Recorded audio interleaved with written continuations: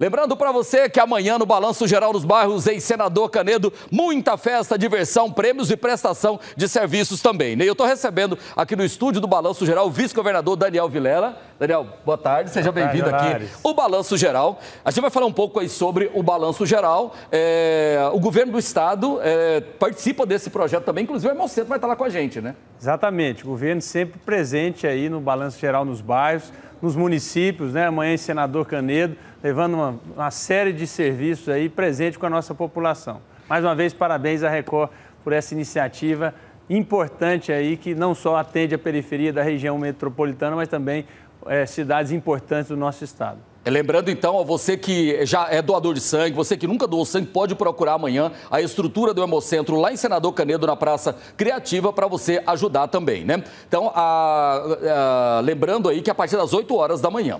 Vamos falar de, de um assunto, é, Daniel, que a, sobre habitação. Como é que está o projeto de habitação aqui em Goiás? Pois é, Loares, hoje nós participamos lá no Goiânia Arena da entrega de mais quase 3 mil cartões do aluguel social, para aquelas famílias que não têm onde morar, que estão no cadastro único, que estão com dificuldade para pagar o aluguel, o Estado vai lá e faz um cartão com 350 reais durante 18 meses até que aquela pessoa possa se reequilibrar financeiramente. Também estamos aí, vamos entregar até o final desse mandato do governador Ronaldo Caiado 10 mil casas a custo zero em todo o estado de Goiás, incluindo as cidades pequenas do nosso estado.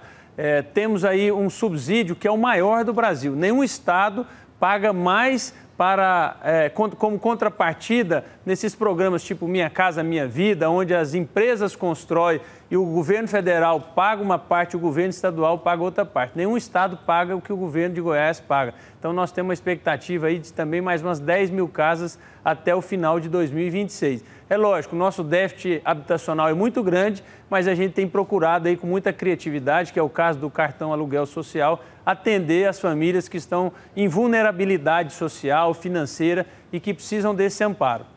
É, a segurança, Daniel, é uma das bandeiras levantadas aí pelo governador é, Ronaldo Caiado, por vocês do governo.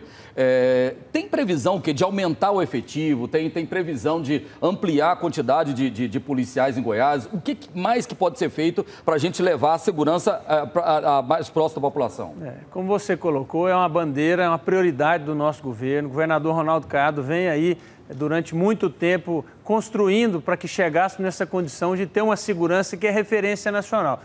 As pessoas que vão aí a outro estado hoje podem ouvir o quanto tem o desejo de viver num estado que tem a pacificação que existe hoje em Goiás, graças atuação firme, decisiva do governador e das nossas forças de segurança, com muita inteligência. Hoje, o armamento da Polícia Militar, por exemplo, é o melhor que existe no Brasil, né, capaz de enfrentamento aí com as facções, com o narcotráfico, que tem os armamentos também é, é, de última geração mas nós precisamos avançar para que a gente não possa recuar nesses índices que vêm caindo a cada ano. Então, é, serão investidos mais de 25 milhões agora com câmeras de vídeo monitoramento no sistema penal, é, nas divisas do Estado, é, em pontos estratégicos de grande fluxo nas grandes cidades do Estado, inteligência, enfim, nós temos que estar sempre à frente. Né? Esse, essa é uma corrida contra os bandidos, contra as facções, contra o narcotráfico, que o Estado tem que estar sempre investindo para estar na frente, coibindo com muita inteligência e garantindo a segurança do cidadão.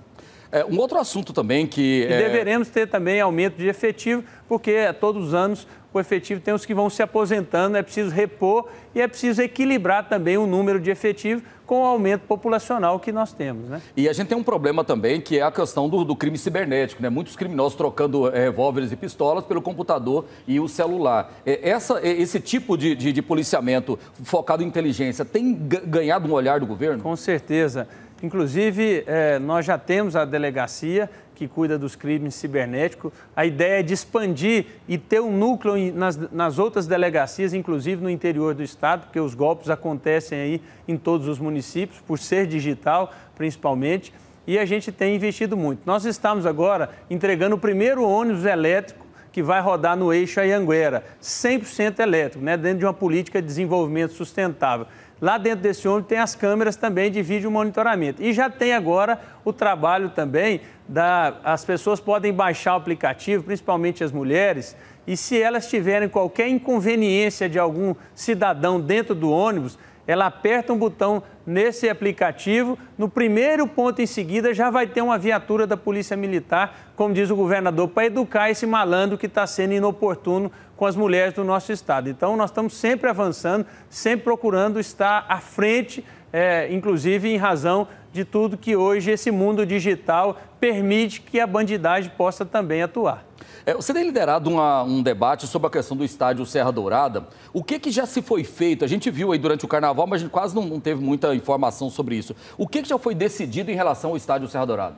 É porque agora, no dia 9 passado, nós publicamos o resultado da, da construção do projeto de viabilidade econômica e financeira do Serra Dourada, para que a gente possa transformar numa arena multiuso, que seja o grande palco de grandes eventos, não só esportivos, do nosso estado de Góis. Agora nós vamos publicar em 30 dias aproximadamente um novo edital da operação, de quem vai ser o responsável por administrar o Serra Dourada, por fazer as, as reformas. Não serão investidos recursos públicos, serão investidos feito, é, investimentos feitos por essa empresa que ganhar a concessão do Serra Dourada. O ano que vem o Serra Dourada completa 50 anos, é um grande palco histórico do nosso estado, do Brasil, e nós estamos muito otimistas aí com toda a sua reforma, ampliação, vai se tornar um local de alimentação, de prestação de serviços diários, né? E quem sabe aí que a gente possa também ter grandes jogos, ver aí os grandes clássicos goianos, receber a seleção brasileira, mas paralelamente a isso também o governo tem procurado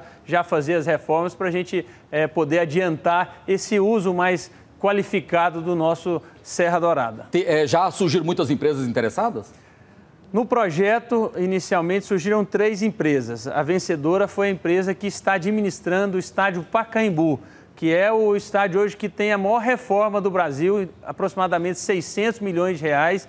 Eles venderam o nome do Pacaembu para uma empresa é, e foi o maior contrato da América Latina, pagaram um bilhão de reais. Então, o pessoal que tem know-how, que tem expertise, é, apresentaram um projeto muito audacioso, muito interessante para nós, mas não necessariamente serão aqueles os vencedores da operação. Acredito que eles devam participar também, assim como, como outros grupos que estão percebendo que, que isso é algo também rentável, porque essas empresas, obviamente, não vão assumir o Serra Dourada se for um negócio ruim financeiramente para eles. A gente tem a certeza, através desse estudo que foi apresentado agora, que é economicamente viável e, com certeza, muitos grupos vão participar desse processo de concessão.